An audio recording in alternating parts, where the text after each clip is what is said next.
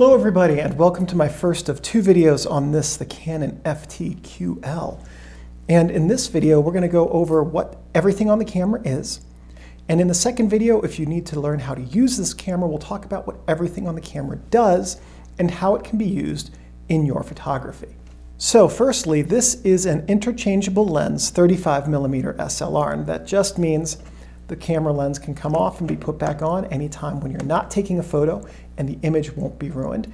You shouldn't change the lenses when you're taking a photo, just for the record.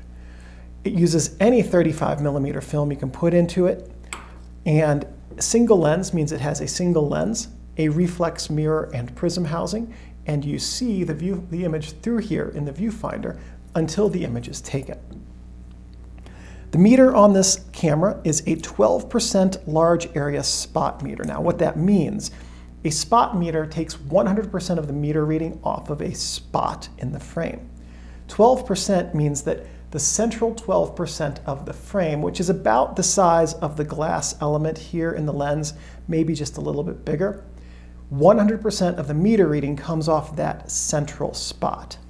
It's actually a little bit bigger than that. There is a square in the um, viewfinder that it's not really a circle. It's a it's a rectangle area, rectangular area. That that rectangle is the metering area. So here's how you use that. If you have a really bright subject in the metering area and gray around it, let's say, that gray is going to turn black. Well, if you have a really dark subject in the metering area and gray around it, that gray is going to turn white because the meter is going to read the light coming off of that central area and try to give you a reading that turns that to gray. Let's say that you're taking a picture of a person. You meter read off of their face, put it in the center, and then recompose so that their face is wherever you want it to be in the image. But you've already got your settings dialed in because this is a fully manual camera. And then after you recompose, you just take the photo and you'll have a proper exposure on that person's face. Whatever you want your subject to be, you take your meter reading off of it, dial in your settings, and then recompose the frame, and you've got a proper meter reading for that subject. It has shutter speeds of 1 second to 1 one thousandth plus bulb and X. X is the flash sync. We'll see that in just a minute up here. The viewfinder has 0.9x magnification and 92% vertical with 94% horizontal frame coverage. Now what that means is what you see in the viewfinder is about 90% of the size of what will reach, reach the film.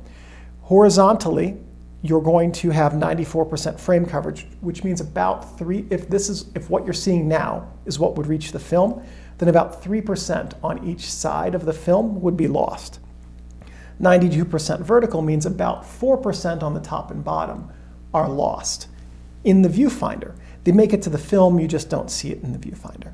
It, the focusing screen on this is a matte field screen with the metering area indicator, and the flash sync on this camera is X and 1 60th of a second and slower. If you're going to use the flash at 1 60th, use X. If you're going to use it slower, use one the actual shutter time. And in the second video, we'll talk about why it is that shutter speeds have, why the flash sync speed is what it is.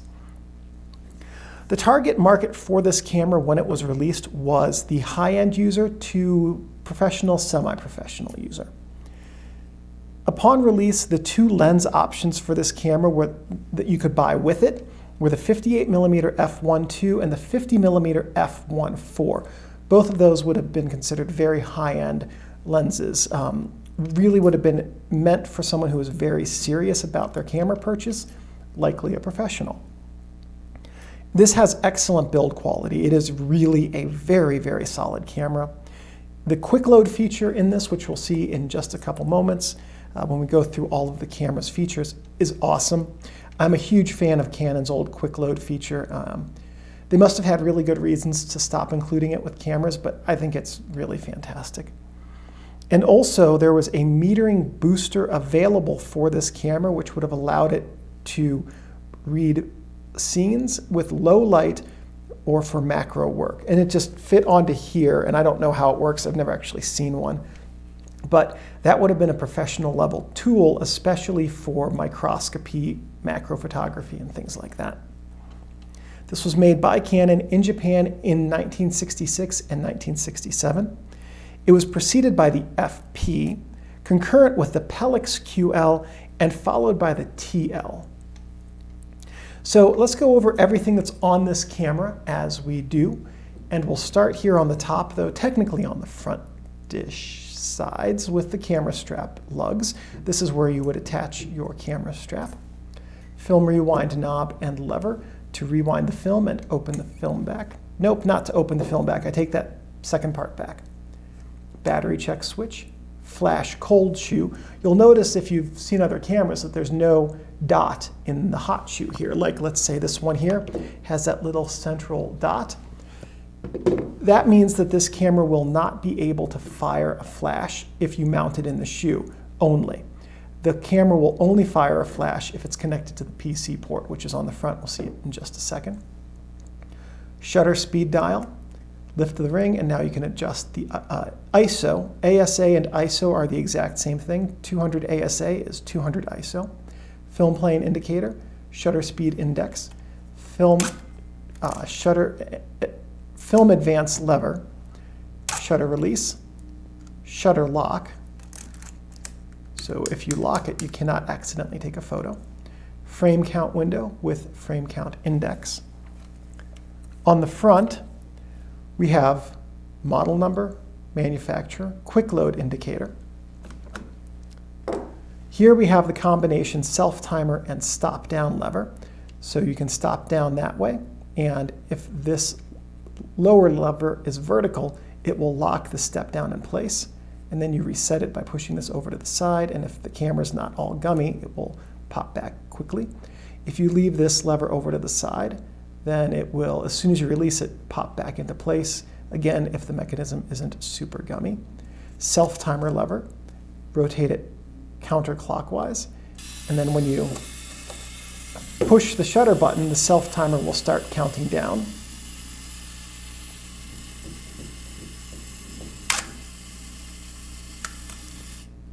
There we go. And so th this is this thing's function is solely for the stop down, locking it or unlocking it. Mirror lockup switch. This you can use, rotate it that way to lock up the mirror. We'll talk about that a little bit more in the second video. Flash PC port. On the side, we have the battery chamber. On the camera's back, we have the viewfinder, manufacturer information, serial number, made in Japan. There's a Wikipedia entrance in the references. You can click to read some more information about this. Um, there are some production variations in this model. Some of the FTs have the serial number on the top and the made in Japan on the bottom. And I believe that the um, there is some information online as well about telling whether your camera was made in 66 or 67 or a little bit whether it was early or late based on where the information on this is uh, the cameras is engraved. On the camera's bottom we have the film back release, tripod socket, and film rewind release. On the inside, which we will access by lifting up this lever here, turning it to pop open the film back. We have the film cassette chamber, film guide rails right here. These inner rails help keep the film flat with the help of the film pressure plate, which we'll see in a second. The outer rails keep the film from moving up and down as it travels. A couple of guide pins to guide the film smoothly onto the film take-up sprocket right here, which prevents the film from being pulled backwards into the camera. And also, as the film is advanced, turns to help the film pull, be moved smoothly through the camera quick load uh, take up spool. Leader index mark here, that little red thing. Quick load holder right there with a couple of rolling rollers here that help keep the film sandwiched up against the sprocket. Film pressure plate to keep the film flat. And then this cassette spring right here keeps the film cassette oriented properly when it's in the cassette area. So some things not to do with your Canon FT-QL. Don't store the camera with the shutter ready to fire. Everything in here is mechanical, it's clockwork, so when you advance the film and arm the shutter, you're putting tension on a bunch of springs. And if you leave them, especially this camera, which is what, it's 2020, let's call that upper 50s year, years old right now as of today. Uh, if you leave tension on those 50 plus year old springs, they can be fatigued and they can either weaken, throwing off your shutter timing, affecting the lens, the mirror's ability to, to, to snap back into place, or they can break, rendering, rendering your camera useless unless it's repaired. And getting one of these repaired is increasingly hard because all of the cameras now of this model are getting old. So before you're done using it for the day, or when you're done using it, activate the shutter because wasting, even if you have, even if you have film in here, wasting a single frame of film is cheaper than having this repaired if the shutter stops working. Also, don't touch the shutter curtain or the mirror inside of here. If you touch the shutter curtain, especially if you accidentally trigger it at that time, you can brick your camera by ruining your shutter.